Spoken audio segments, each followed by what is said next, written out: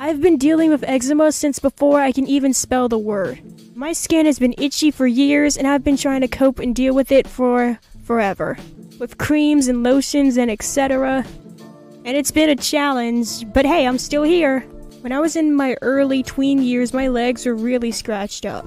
And I couldn't walk properly because it hurt like crazy. So I kinda just limped around a lot.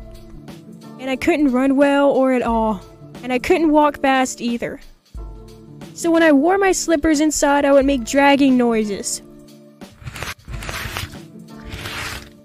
And certain people, I won't name names, but certain people thought I was being lazy. But I wasn't being lazy, I just had a medical condition. But anyway, my legs were like that for maybe a year. But luckily, with some creams, lotions, vitamins, bandages, and etc., I overcame it and I can run again. But then there were my arms and hands. My arms get super itchy sometimes. But it's not all that bad all the time. Something that helps me soothe my skin is this little thing I wear. I wear these black sleeves on my arms.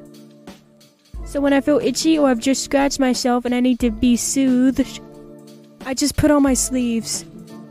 And then my arms feel a lot better. When it comes to my hands, uh, that's a whole new situation. My hands and fingers do get itchy and dry sometimes. And scratching your fingers can get, uh. That can be hard to do, and it can turn ugly, because your fingers get little scars on them. So instead of biting or scratching your fingers, I bandage the dry parts on my fingers.